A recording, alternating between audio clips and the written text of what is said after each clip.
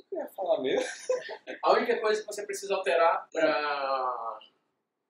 Olá pessoal, eu sou Gustavo Escomparim, eu sou gestor de tráfego pago aqui na Marketing Digital e hoje eu quero dar um recado para vocês, tá? E o recado que eu tenho para dar para vocês é a única modificação que vocês precisam fazer nas campanhas de tráfego pago hoje, tá? Eu vejo muitas pessoas que fazem é, diversas campanhas, seja no Facebook, seja no Google AdWords ou até outras plataformas mais alternativas. Todas essas pessoas, a maioria delas, assim, o que, que elas fazem? Colocam um anúncio e mandam para uma página de vendas logo em seguida seguida. Elas nem engajaram com a pessoa, nem ofereceram conteúdo sequer e já estão querendo vender alguma coisa e depois acham ruim é, as taxas de abertura, as taxas de venda, o clique tá caro é, e tudo mais, né? Todo aquele drama de métricas que você deve estar tá cansado já de ouvir. A única mudança que vocês precisam fazer quando estão construindo uma campanha de tráfego pago é um engajamento. O que seria esse engajamento? Pense o seguinte: quando você gosta de alguém, quando você quer pedir é, uma menina namoro, depois você pretende se casar com ela, você não chega no primeiro encontro já com aliança e pede em casamento. Primeiro você sai com ela, depois vocês se conhecem, pedem namoro, namora algum tempo e depois vocês se casam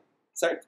Então, é, é, o mesmo processo que acontece com as vendas online. Você não pode, no primeiro dia que você se apresentou para a pessoa, já oferecer algo. O ideal é que você se apresente, você mostre quem você é, você gere valor, você mostre o conteúdo, mostre um e-book, mostre um artigo, mostre um vídeo. Depois que você engajou, você pode fazer uma primeira oferta, oferta de baixo valor. Primeiro você chama a menina para o café, depois você leva ela para um restaurante e assim por diante. É esse o processo que você vai seguir. Então, quando você for criar uma campanha de tráfego pago, pense muito mais no humano, pense muito mais com quem você está falando e o que você está falando. Saia do automático. E isso tenho certeza que vai fazer uma grande diferença nos, nos resultados das suas campanhas de tráfego pago. Então, ao invés de você simplesmente criar anúncios, crie campanhas de anúncios. Pense em pontos de conversão, pense de que forma você pode estar sempre melhorando o seu conteúdo ou acrescentar novos conteúdos em cada etapa,